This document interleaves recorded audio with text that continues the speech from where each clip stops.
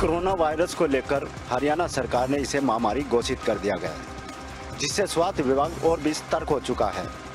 नारनौल के नागरिक हॉस्पिटल में कोरोना वायरस के मजदूरों के लिए अलग से वार्ड बनाया गया है।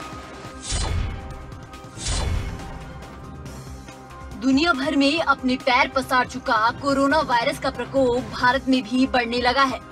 वही बात हरियाणा की करें तो यहाँ अब तक 14 मामले सामने आ चुके हैं।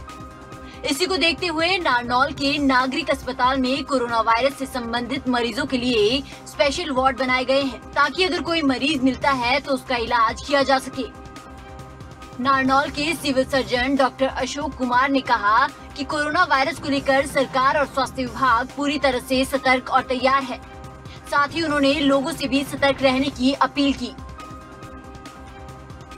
पर्सनल हाइजीन्स का तो ख्याल रखें कि जब भी किसी को अगर किसी तरह के सिम्टम्स हैं बुखार है खांसी जुकाम है वो अगर उनको छींक आती है वो हाथ उनके कॉन्टैक्ट्स हैं जो एयर डेप्ट से कॉन्टैक्ट में आते हैं उनको अच्छे से साबुन से धो के और हैंड हाइजीन्स का पालन करें।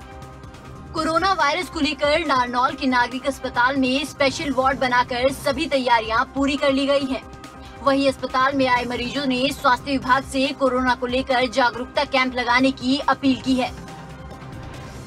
हमारे हरियाणा में है ना ये कोरोना वायरस फैल रहा है ना, इसको है ना ख़त्म करने के लिए है ना कैंप लगाना चाहिए हमारे हरियाणा में। चौदह केस आ चुके हैं ऐसे तो हमें जगह जगह कैंप लगाना चाहिए और इससे बचने के लिए हमें फ्री मुफ़्त मास्क देना चाहिए। हरियाणा में भी कोरोना वायरस बहुत ज़्यादा फैल गई है और हरियाणा सरकार से ये रिक्वेस्ट है कि भाई कैंप लगाए और मास्क फ्री में दे हमें।